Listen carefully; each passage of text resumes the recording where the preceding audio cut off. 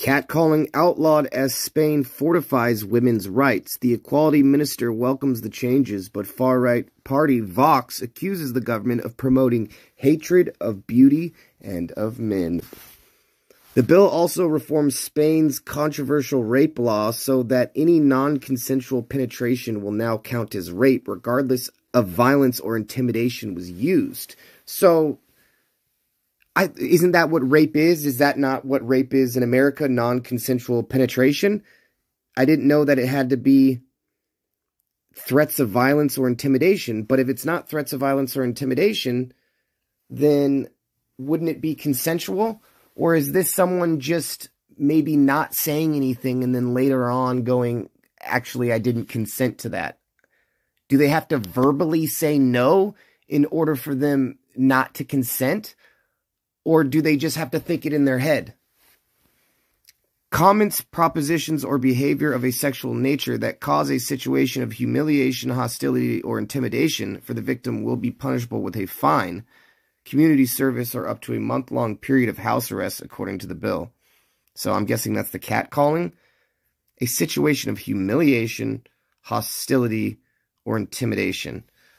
Okay, so if you say, hey, babe, uh, you got fries with that shake or man, you got big knockers or ooh girl, I like the way your ass shakes when you walking away from me. Uh, if she records that or if there's witnesses, uh, she could just go into the police department and make a complaint and that could be uh, punishable with a fine or community service. That seems like it'd be hard to implement. And you know, what exactly qualifies as humiliation. I think that would be different for everybody, right? Hostility, intimidation. I, I guess the simple fact of um, calling out to a girl that she's hot could be intimidating. But what I'm wondering is, does this include going up to women and hitting on them? Let's say trying to get a girl's number maybe that humiliates a girl. Maybe that's uh, seen as hostile or she's intimidated by you because you're trying to get her number and she doesn't want you to. So it seems like uh, it's very vague. Spain's left-wing government celebrated the passing of the feminist penal code, but right-wing parties opposed the legislation which they claimed reduces men's rights to the presumption of innocence and attacks traditional behavior between the sexes. Well, that's kind of what I'm getting at here. Hatred of beauty and of men. Carla Toscano, an MP for the far right Vox party, said she was sad that the tradition of complimenting women on their looks would be banished from Spanish streets. Well, complimenting a girl on her looks is a, is a little different than catcalling. And, you know, I've never been one to catcall, and I've always thought it's strange that men call out to women. That's never going to work. You need to approach a woman and get her to like you. You can't just call out, hey, baby, nice tits and she's going to turn around and be like, hey, really? You think I have nice tits? Let me get your number. So I'm a little confused as to what exactly it entails. Remember that one that went, tell me what your name is, and I'll ask for you for Christmas, Miss Toscano said, citing the popular catcall as an example of masculine admiration and popular ingenuity. Miss Toscano, who has in the past worn a t-shirt emblazoned with the slogan hashtag not Me Too, in a statement of opposition to the anti-sexual harassment movement, was applauded by her fellow Vox MPs as she accused the government of promoting hatred of beauty and of men. You see, I don't necessarily agree with catcalling, but I don't know if that's something the government should get involved in. I mean, it's to a certain point, at a certain point, it becomes harassment. Let's say a girl's walking by the same spot every day and a man continues to catcall her, then we're then we're moving into sexual harassment territory. But just a cat call once, hey baby, nice tits. That's that's now going to be a part of the law there. That seems crazy to me. Swap violence for freedom. Irene Montero, the equality minister, defended the reform as a decisive step towards changing the sexual culture of this country. From today, Spain is a freer, safer country for all women. We are going to swap violence for freedom. We are going to swap fear for desire, she said. Spain joins a handful of other countries, including France, Belgium, and Canada, of course, Canada, which have outlawed street harassment or catcalling. Campaigners against gender based violence are also calling for street harassment to be criminalized in the UK. Spain's sexual rights reform comes in response to major feminist protests in 2018 after five men were acquitted of rape and convicted of lesser charges of sexual assault despite forcing an 18 year old woman to have sex with them at the Pamplona, Pamplona Bull Running Festival. Until now, Spain's law had lacked a clear definition of consent and had instead relied on evidence of violence, resistance, or intimidation to determine whether rape had occurred. So that's good that they have a clear definition of consent. That's good. I'm for that part of the law. But the victim said she had been frozen by fear, which prevented her from resisting, experts say. This is common response during sexual assault. Okay, well, this is what I was getting at earlier. I mean, you should absolutely know if a girl is afraid for her life when you're about to have sex with her. It's just whether or not you can prove that and whether or not a girl could use that law and after the fact she actually was into it at the time but later on regrets it and says that she didn't consent and was frozen in fear. And the guy's like she didn't seem frozen in fear to me. She seemed like she was consenting but maybe she never gave verbal consent. But it just seems like a gray area where i would absolutely agree that a woman can be frozen in fear and be taken advantage of and raped it's just how can you tell the difference between those two things? Between a woman being frozen in fear and maybe a woman just not saying anything? I know the man should be able to tell, but how can the law tell? How can you go about proving that? Basically, it seems like you'd just be taking the woman's word for it. And that's always a dangerous thing when you're just taking someone's word.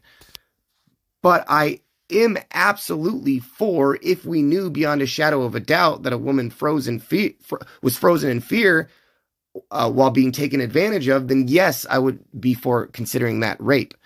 But it's just um, that's hard to prove. Is is all my point is. Eventually, on a second appeal, the men were convicted of rape by Spain's Supreme Court, ruling that intimidation could be atmospheric and not necessarily expressed but by then the government was already drawing up a reform for a single consent-based offense to end the distinction between sexual assault and rape.